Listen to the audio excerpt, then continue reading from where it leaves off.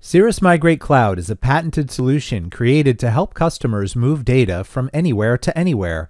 This includes within on premises data centers, between data centers, on premises to clouds, between clouds, between storage tiers or availability zones or regions of clouds, with the least impact on production operations. In many cases, the migration and final cutover can be performed with zero downtime. Cirrus Migrate Cloud is block storage array agnostic, giving customers a single tool for all their block data migration requirements. Going forward, we'll use CMC to refer to Cirrus Migrate Cloud. This short video will demonstrate CMC migrating data from an Amazon AWS GP2 disk to an SSD drive in a VM in Oracle Cloud. This migration will be conducted as the data is in use at the source location. During the migration, Cirrus Data's Intelligent Quality of Service, IQOS, will ensure that there's no impact to applications in production. For this migration, a Windows host is using disks from the source storage configured with Multipath. The goal is to migrate to the new storage without any downtime throughout the deployment, migration, and final cutover process. The migration is managed using Cirrus Data's CMC portal in the cloud. The first step is to get the two hosts to register and appear in a project in the CMC portal. So let's take a look at the CMC portal and start to deploy the CMC agents at both Windows hosts. Log into the CMC portal using your account. Here is a list of all the projects you created or those you were invited to by other project administrators. Let's create a new project by clicking on the Create New Project button. Enter a project name, a short description, and click Create Project. Click on the newly created project to open it. Project details and license information are listed here. On the left are items related to this project, such as project overview, migration hosts, H2H connections, migration settings, integrations, and project settings. First, let's click on project settings. You can invite other users to help manage this project, or you can delete the project or leave the project if there is another administrator assigned. Now let's see how we can add the Windows host to the project. Click Hosts. We'll use a Windows VM instance that was already configured and connected to the internet using a public IP address. Since there's no destination volume yet, it'll be auto-allocated later automatically by CMC using the plugin for Oracle OCI. We can also attach an existing disk to an Oracle VM. There are no existing discovered hosts. Click here to get the one-line installation command. Note that the command contains a project ID, which allows this command to be used by all hosts that are supposed to be migrated by this project to register with this project. In this way, we end up with the entire list of all hosts for this project automatically. We already created a Windows 2019 host VM in the Oracle Cloud that will be the target of the migration. Open up a remote desktop to the AWS Windows VM. Paste the copied command and run it in the RDP session. Open a second remote desktop to the Windows 2019 VM in the Oracle Cloud. Paste the same copied command and run it in the RDP session. It takes about 30 seconds to a minute for the registration to complete. There is no user interaction necessary. Now the registration is complete, and we should have both hosts listed in our project back at the CMC portal. At the migration host window, we now see both the AWS Windows VM as well as the Windows hosts in OCP. To simulate a live workload, let's start Iometer and put some I.O. on this disk. Here, the disk is now active with I.O. So now the AWS Windows host has an active workload. We want to now migrate this live and then cut over to the new OCP cloud storage without any downtime. The first step 1 is now complete. The next three steps are to create the H2H connection of the source and destination, define the integration for AWS or OCP and create the migration session and auto-allocate or use allocated destination LUNs. Optionally, you can set up actions for snapshots. First, we'll define the integration with OCI using the Add-on plugin. Click on the Add button beneath Oracle to add the credentials. Enter the name for the migration, enter the OCI credentials, upload your private key, and select as deployment target the OCI VM name. Click Save and Close a new integration icon appears as enabled. Now we'll connect the two hosts by clicking the H2H connection tab in the CMC web console and create a host-to-host -host connection. So the source AWS Windows host can send compressed and encrypted data to the OCP destination Windows host, which will write to the OCP Cloud VM. Click on H2H Connections on the left of the CDC portal and click Create New Connection to create the connection. Once connected, either side can send data to the other. We'll use the, the AWS VM host agent as the source and the Oracle OCP VM host agent as the connection destination. Note the source destination and destination host IP address. Here, the destination address is the public IP address of the target Windows host instance in the OCP cloud. Now click Migration Session to open up the Migration Session page. Since there are no migration sessions yet, use the red button to create a new one. Click the New Migration Session button. Select the Windows host and click Continue. Note that CMC supports both local and remote migration. In this case, we'll click Remote Migration. Select the OCP Windows host as the destination VM.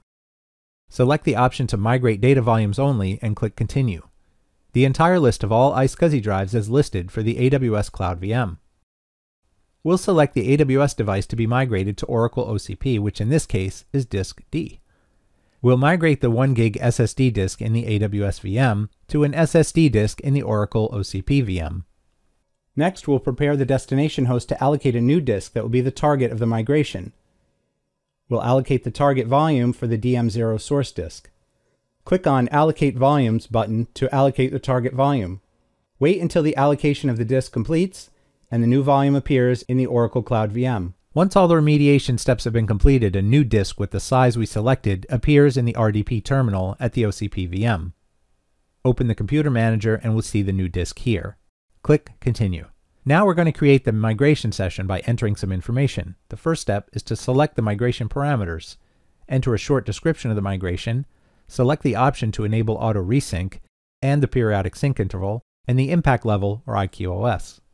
IQOS is Cirrus intelligent quality of service. It automatically throttles back the migration when the source volume becomes more active and opens it up when the source volume is less active.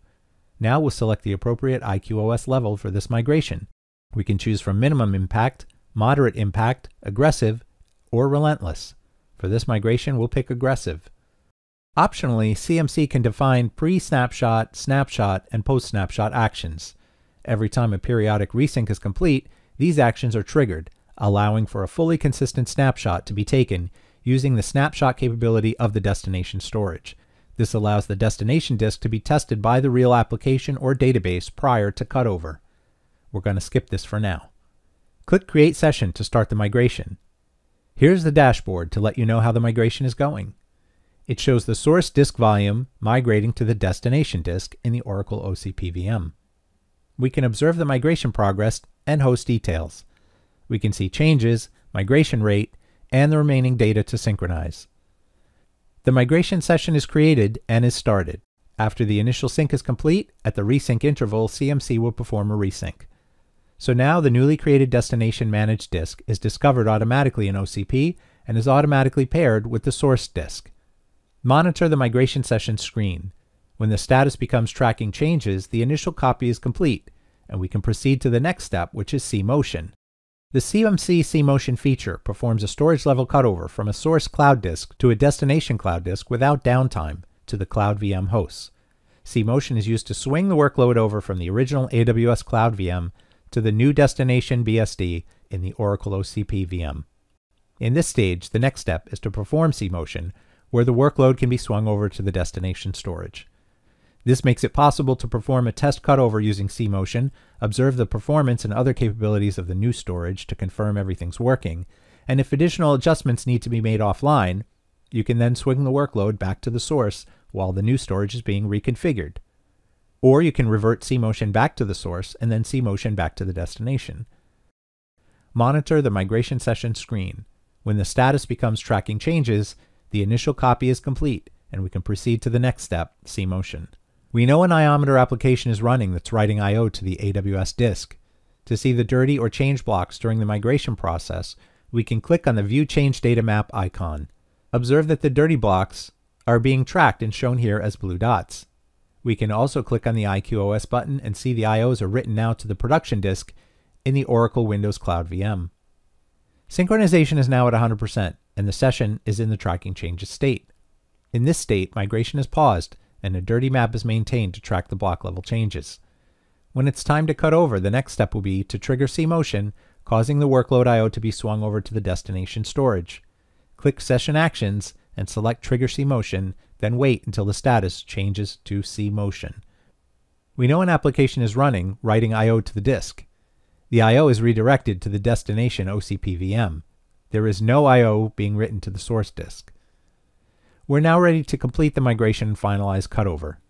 The action to finalize cutover is used to ensure that the source disk and destination disk are set up so that when there's a planned or unplanned reboot in the future, the destination disk will be the one mounted for production. To finalize the cutover, the user is prompted to bring the source host application offline and then bring the source disk offline. Once that's detected, the user is reminded to bring the destination target disk online and then bring online the application for production. This will then complete the migration process. Now we're ready to finalize the migration. Click Session Actions and select Finalize Cutover. Observe that the status changed to Cutover cMotion and the final cutover is complete.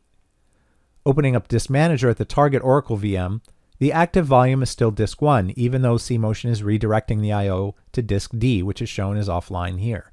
So let's bring disk D online and the source disk D offline. Now the cutover is complete. At this state, the volume is still accessible by redirection to the destination disk. The source and destination disks are configured so that upon the next reboot, whenever that is, the active volume will be the new destination disk. The migration project is complete at this stage, without any downtime and a small delay between bringing the source offline and bringing the destination device online. For the case of remote migration where there's a new host at the cloud that's pre-configured to run the migrated workload, cMotion effectively eliminates this final synchronization. This completes the demonstration of online migration using Cirrus Migrate Cloud end-to-end from deployment to migration to final cutover and with only a brief transitional outage needed to shut down the source application and immediately start the destination application.